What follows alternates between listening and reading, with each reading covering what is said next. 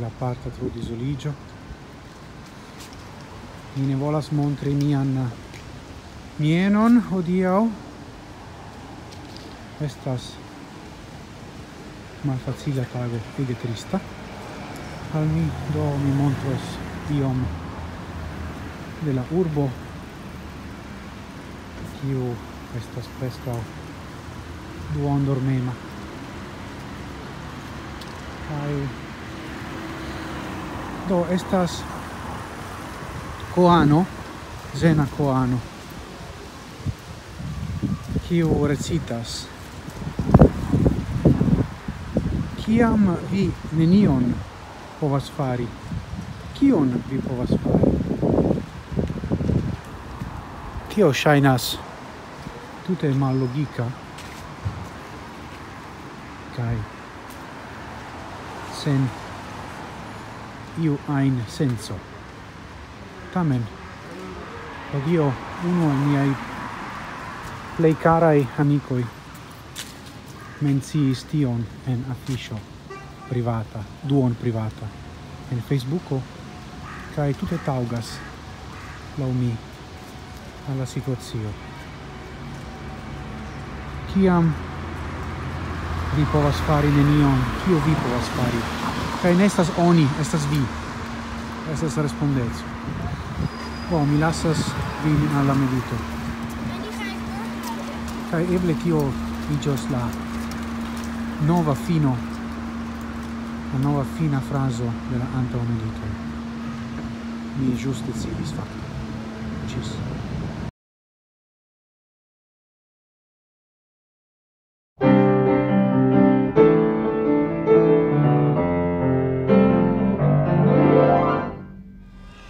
saluton. Ĉi tiu estas necutima medito pro vere malfacila tago.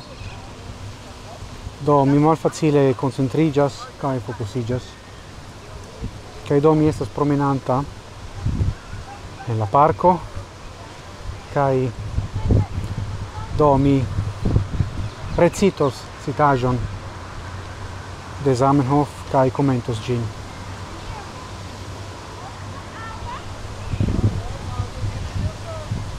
ec guto malgranda, constante frappante, traboras la monton granitan.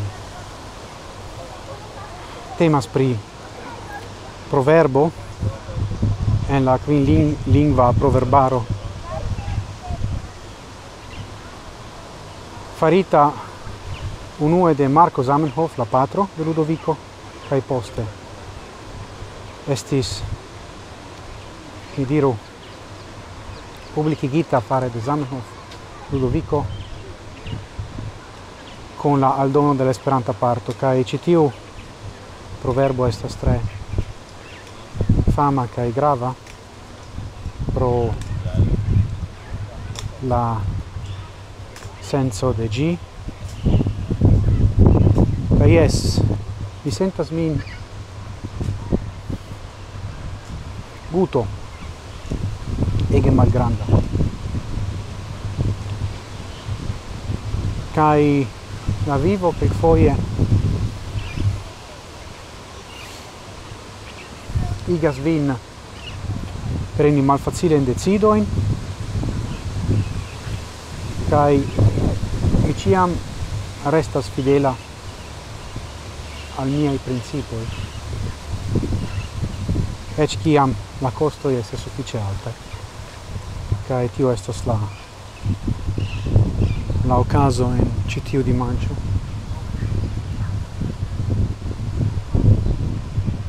Kaj do mi varme esperas ke vi ne devas trapasi iom similan.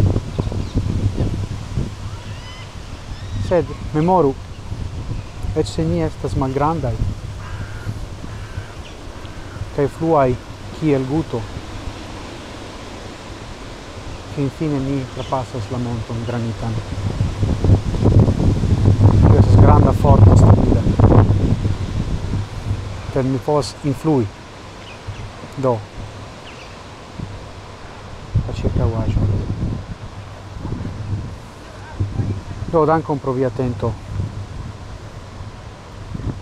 kai gis morgo Nova semaino Kaj kiel ciam antaŭen senfine.